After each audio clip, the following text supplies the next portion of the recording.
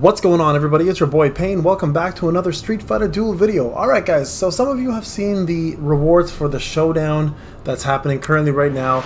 Uh, cheer me on. I hope I win, obviously, uh, then I can showcase some more Akuma, but that's not what I'm here for. I'm here to actually talk about Showdown itself and help you guys develop proper teams in order to get in there and have the best amount of success. So I'm to just quickly show this uh, to my boy Chang. I know I know you mess messaged me on... Um, on the comment section and you were like, good luck in your match. I said the same thing.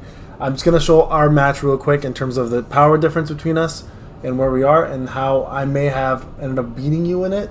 Uh, you're just an example. I'm sorry. I don't mean to pick on you in any way, shape, or form. But let's go to go to our match real quick. So let's go to zone one.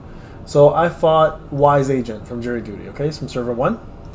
So this is the level difference between us. Okay, and everything's equalizing this. So keep that in mind, right? I'm level 389 or maybe 390 now, uh, and he is level 415, I believe.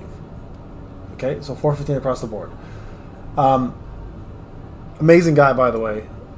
And if you look at the comparison between us, 390, right? So pretty substantial difference. Now, again, that's not going to matter in Showdown because they equalize the levels. Everybody gets the same level. But where it does matter is the FS and all that other stuff that you have, your gear, etc. Right?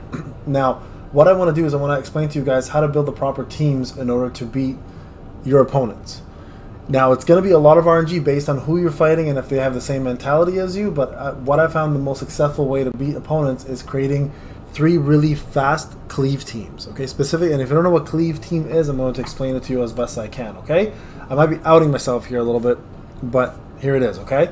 So, the first team I created was a very fast team, all right? This one specifically is geared towards healing and cleaving with Bison with his C3 and providing as much damage possible with the front target with with Cammy. So this team is set up as follows. Excuse me. Um, Cammy does single target damage to, to create shock, so it's a dot. I get a heal from Elena whenever I need it. This is just a backup, of course. And then she also does battle dance whenever she heals. So she 60% chance to come in, attack up everybody. Now this is where it gets the more, more important part. Is B will obviously do the the the whirlwind cyclone to vacuum everybody in, stun and trap, and then uh, Bison will do his C3 Psycho Crusher. Okay, so this is meant to be a cleave team and a, and a stun team, and it's extremely fast because I have Bizang here to make sure I go first, and you also need to make sure that your assist also help you put out as much DPS as possible. So for Chun Li, she gives crit damage to the to the user, and if she if Cammy dies, Bison will be my next in line, and he'll get the tarot cards from from Rose. Okay, so two AO, two oh, sorry, one AOE, two AOEs here, sorry, and one single target damage. You still want to get the front line out of the way, plus a debuffs, and then you want a little bit of a healer, okay?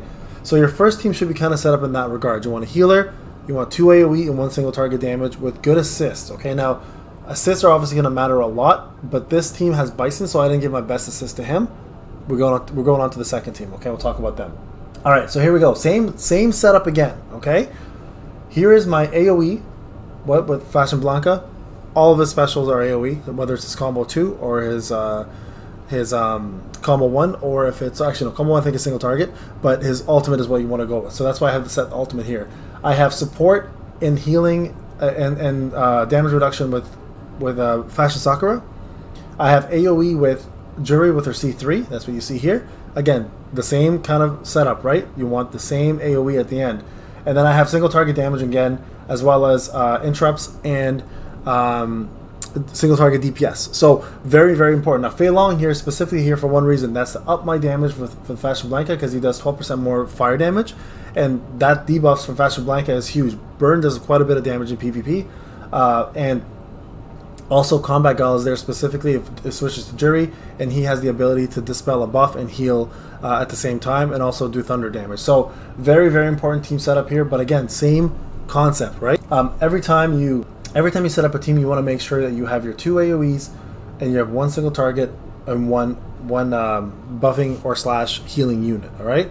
And again, you want to make sure your assists are complementing your main DPS. In my case, my main DPS is Fashion Blanka, so Blanka is going to have Fei Long's um, a buff for his flame damage. All right, so very important, guys, to remember when you keep that in mind. If you're if you're struggling with this concept of like where assists go, etc., go back and look at the spreadsheet or the assist video I created to the plus fives, and you guys might get a better idea of who belongs where and on what unit. And there, you just got to play around with it. But cleave teams are always the best teams, but you still do need a single target damage unit in the game in order to support you. Okay, going on to team three now. So this team is a little bit different. And the reason why it's a little bit different is because you have MH, MH Kennen here. Okay, MH Kennen causes a whole slew of problems for opponents. Now, what I what you would want to do in here is you can actually sorry, let me go back here, guys. For this one specifically, hold on, where is it here? You don't want Rose. My apologies, guys. You actually want Sea Viper. There.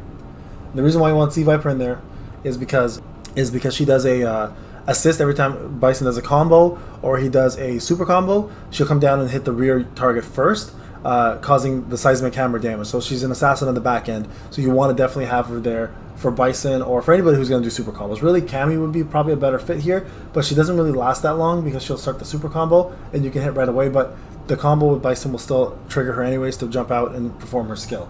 All right, going back to this team. Sorry. So MH Kennen brings, brings a little bit of a different vibe to this whole fight, right? His job is simply to knock back combo, combo, combo, combo. He triggers a combo every time, which in turn triggers Cammy to come out uh, twice, right? So I have him actually going in here with the super so he can get the physical resist.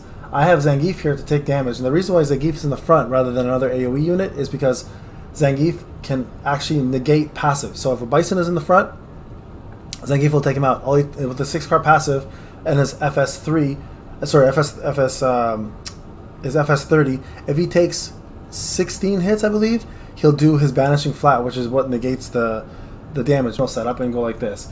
This, this, this, and this, and this will give you what you want with AoE, right? So you have the AoE from Dhalsim, you have Mad Ryu for his Dispel of the Shield, which is important because a lot of people do use Able or Shelter. He will dispel that shield. MH Kennen will trigger his combo, plus Cammy coming down, and then Zangief will do Banishing Flat. So if he gets hit 16 times, he does Banishing Flat, which does a, a, lot of single target damage, but most importantly, it removes the passive. So this team is a little more unique than the typical AoE, but if you want to build an AoE team, remove Zangief, keep Kennen here, put in Guile, and Guile will just pretty much AoE the crap out of everything. So that is another option, and there's other options as well for AoE as well, uh, obviously, but Guile would be one of the best choices for PvP because he does two AoE moves. He does his ultimate move and he does his um, his C3. So you can definitely pull out a lot of damage using that. Or if you want to need an assist, you can put in street street poison, have a charm as a C2, or have yourself a buff to increase your damage. But PvP wise, I don't recommend that. So stay away from that if you can. Uh, realistically, one of the better bets would have been to do this instead here, where you put Rose in the lineup, right? And that way you have this lineup here. But if you if you are fighting opponents in your bracket and you kind of see their lineup and you know they have a shield user, then Emery is a better option to just dispel. But Rose would be a better option for survivability. So you can do a couple different things here, but at the end of the day, you're still going to get your AoE from Dhalsim. And Ken technically does an AoE because his combo does trigger multiple hits on multiple enemies. And then you have your tank here, and then you have your trigger with Cammy and your buffer. Okay, so that's kind of how you want to set it up, guys. I'm going to go ahead and save this. Whoever's fighting me next, you're probably going to, if you do watch my channel, you're probably going to know what I'm doing now. But hey, I mean, you still get, we still got to go through it. And you can see here, if you do the replay, there, this is how it ended up being, right? So these are our teams against each other. So you can see here, I've got more, I've got way more AoE here. He's got only two, I mean, technically Rose is an AoE, but not wouldn't be using it as AoE. He'd probably be using it as a, as a buffer, where my two AoEs would have worked better here. And another thing to note is don't always put your Bison team in front for your attacking or defense. That always doesn't work. My my case, I'm good with it, but be careful with that. Here you have one. He has, he has one AOE with Bison, but I have two cleaves. So cleave team wins here, and then third he has he has two AOE here, and I've got one AOE, but I've got Ken. So I probably have a little advantage here. If we take a look, I'm curious to see who won this match. This one here is the most important one to me. So I was I exited, hold on. Let's go. Actually, we can probably check stats. Probably easier this way. Uh, where does it show win versus? So which one was this? So this one was a win on my end, for sure. And this one was maybe a win on his end because of the Bison. But what I mean, we can take the, take a look at that one later.